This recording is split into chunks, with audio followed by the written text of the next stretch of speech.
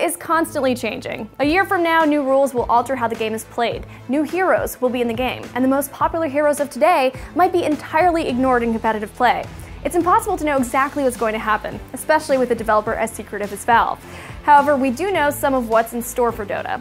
It doesn't matter if you're a hardcore fan or if the upcoming Boston Major has you interested for the first time.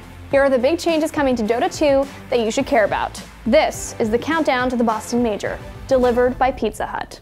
When Dota 2 hit alpha in 2010, it arrived with 24 playable heroes. Now, six years later, that number is up to 112.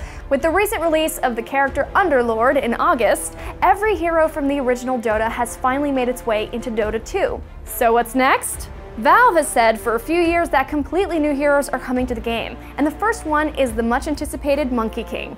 Revealed at the International 2016, not much is yet known about the hero. He will be added to the game as part of the new Journey update this fall, which means a mid-December release around the Boston Major is quite likely. His design and namesake are based on Sun Wukong, the legendary hero from the classic Chinese novel Journey to the West. Based on his debut trailer, he seems to be an agile trickster with the ability to create illusions of himself. It's been fun waiting for the older heroes to arrive to Dota 2, but the downside was that we always knew what to expect. With the old roster filled out, we can finally see what Dota's developers create without following a blueprint.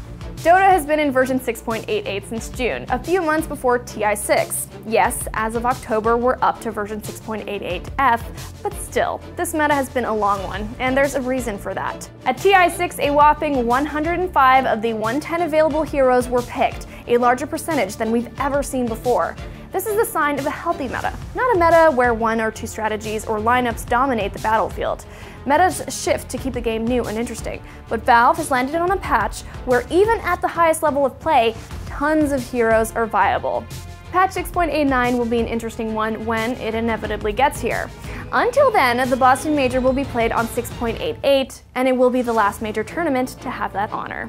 Unlike how Riot handles League of Legends, Valve has a much more hands-off approach to Dota 2 when it comes to esports coverage and pulling the curtains aside. While that likely won't change in the near future, a new documentary series by Valve called True Sight could be a sign of even bigger things to come.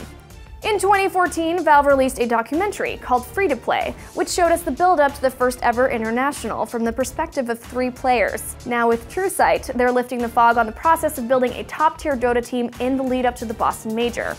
They're only two episodes in, but the results are fantastic, and we're hoping Valve continues this trend for all major tournaments in 2017. New heroes and patches are inevitable, but now that we have all the original Dota heroes and one of the most solid metas ever, it'll be interesting to see what Valve does throughout the 2016-2017 season.